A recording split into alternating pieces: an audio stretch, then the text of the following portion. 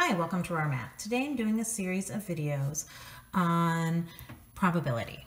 All right, M and N are independent events such that the probability of M is 0.7 and the probability of N is 0.5. Find the probability of the union of the two. So I'm gonna do this two ways.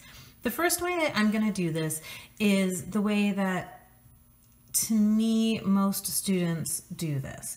Um, I think most people that I teach at least are pretty visual.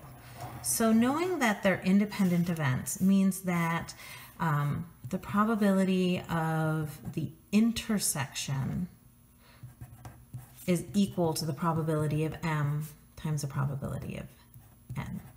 So that means the probability of the intersection is equal to 0.7 times 0.5, which is 0.35.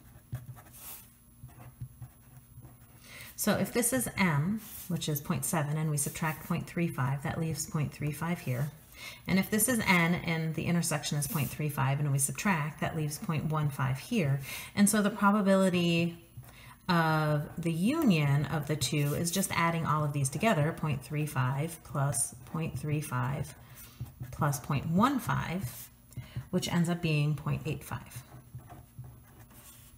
Now there are shortcut ways. We could have just done the 0.7 plus 0.15, but some people don't want to get to the visual. Some people just want to use the formula. The formula says that the union is equal to the probability of m plus the probability of n minus the probability of m intersection n.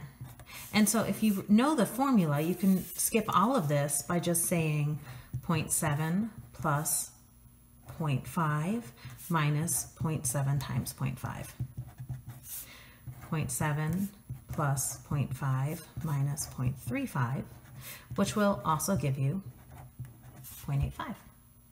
Either way will give you the same answer. All right, I hope you've enjoyed this video. Please subscribe to my YouTube channel, like my Facebook page, and I'll see you on the next video. Thanks!